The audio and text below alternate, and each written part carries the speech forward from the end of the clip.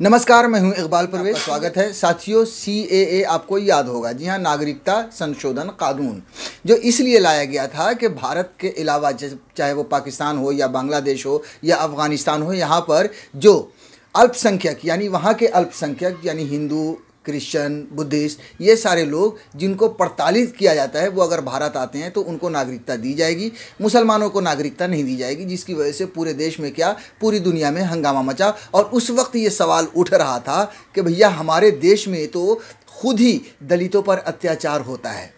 जी हाँ ये बात भी सही है और ये ख़बरें हमने हमेशा सुनी है, हमने हमेशा देखी हैं कि हमारे देश में तो खुद ही दलितों पर कितने अत्याचार होते हैं। जब चुनाव का समय आता है, तब ये हिंदू बना दिए जाते हैं और उसके बाद दलित बना दिए जाते हैं। अभी अभी एक नई खबर आई है जो बहुत ही डरावनी है, जो आपको डराएगी कि दलित की शादी में कपड़ा पहनने पर लोगों को इतना ऊँची जाति वालों को इतना एतराज़ हुआ कि उन पर पथराव कर दिया पथराव किया, जिसमें नौ लोगों पर जी हाँ एफ़ भी दर्ज की गई है। साफा पहनने पर एतराज़। सोचिए कि इस देश में आज भी दलितों को अगर चप्पल पहनकर ज़मींदार के सामने से गुजर जाएँ, ऊँची ज़ात के वालों के सामने से गुजर जाएँ तो उन पर जुर्माना नहीं, बल्कि उनको दंडित किया जाता है। उनको कहा जाता है कि तुम अपनी चप्पल को, अपने जूते को सर पर उठाकर उन, उस सड़क से पार हो। ये हालत है इस देश में दलित की, जो दूसरे मुल्कों के अल्पसंख्यकों को से हमदर्दी दिखाते हैं।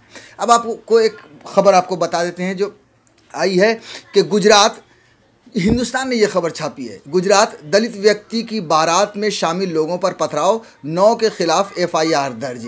गुजरात के अरवली ज़िले में दलित व्यक्ति की बारात में शामिल लोगों पर कुछ लोगों ने कथित तौर तौर पर पथराव किया। एक अधिकारी ने बुधवार को बताया कि ये लोग दूल्हे के कुछ रिश्तेदारों के सिर पर परंपरागत साफा पहनने और संगीत बजाए जाने से नाराज़ थे। जी हाँ शादी में संगीत बजाए जाने से नाराज़ हो गए थे लोग। लोग मतलब जो ऊँची जाति के लोग हैं, उन पर उन, उनको ठेस लगी कि भैया हमारे सामने ये दलित, ये पिछड़े, ये लोग कैसे संगीत बजा सकते हैं, ये शादी में खुशी कैसे मना सकते हैं?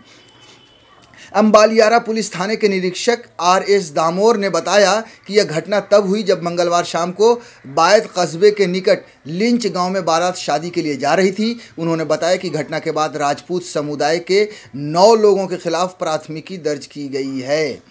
दुल्हन के एक रिश्तेदार द्वारा दर्ज कराई गई शिकायत को उद्धत करते हुए अधिकारी ने कहा कि बारात जब गाँव में पहुँची तो लिंच के कुछ लोगों ने कथित तौर पर उस पर पथराव किया। अधिकारी ने कहा, आरोपियों ने बारात में शामिल दलित पुरुषों और महिलाओं के साफा पहनने पर आपत्ति जताई थी। उन्होंने कथित तौर पर बारात पर पथराव किया और जातिगत टिप्पणियाँ भी की। प्राथमिकी के मुताबिक शिकायतकर्ता और परिवार के अन्य सदस्यों ने आरोपियों से इसकी वजह जाननी चाहिए तो पथराव रोकने का अनुरोध किया। एक आरोपी ने इस पर कथित तौर से दुल्हन के एक रिश्तेदार पर हमला कर दिया। दामोदर ने कहा, आरोपियों ने कथित तौर पर वर पक्ष को शादी के दौरान साफा न बांधने और डीजे सिस्टम पर संगीत न बजाने को लेकर चेतावनी दी। उन्होंने शिकायतकर्ता और इसके परिवार के सदस्यों को जान से मारने की धमकी भी दी। उन्होंने कहा कि नौ लोगों के खिलाफ दंगा, हमला, आपराधिक धमकी देने का मामला मामला भांदन, भांदस और अनुसूचित जाति एवं जनजाति अधिनियम के तहत मामला दर्ज किया गया है। उन्होंने कहा कि मामले में अब तक कोई गिरफ्तारी नहीं हुई है। सोचिए, ये है हमारे देश की स्थिति। जी हाँ भारतीय जनता पार्टी सबका साथ, सबके विकास की बात करती है, मगर हकीकत कुछ और ही है। जब सी ए कानून बना, तब उसमें भी एक धर्म को अलग कर दिया गया। वो धर्म इसलिए अलग किया गया मुसलमान, क्योंकि इन्हें धर्म की राजनीति करनी है, धर्म के नाम पर वोट मांगने हैं।